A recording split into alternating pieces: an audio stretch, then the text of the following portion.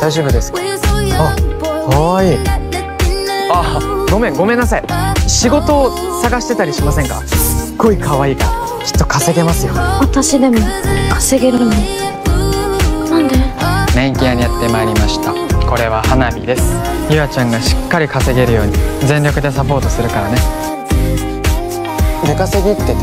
出稼ぎ？1週間でこのくらいは稼ぐこんなに？6日間投資で12時間勤務だから集中して稼げるんだよ。ねもちろん無理はしないで行こうかあ無理帰りたい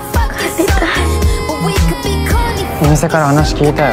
店長には俺から話つけといたから今日は休んでいいし電気屋のテク可愛い子にアピールする